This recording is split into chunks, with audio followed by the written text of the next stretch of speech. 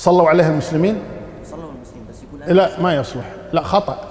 يقول أمي توفيت منذ عهد قديم عشرين سنة. إيه. توفيت أمه منذ عشرين سنة وهو صغير.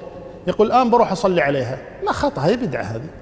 أنه يذهب يصلي. يعني هي تصير شلون؟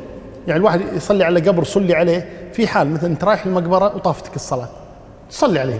أنت مسافر مثلا ومات قريب لك أو صديق أو أب أو أم إنسان عزيز عليك.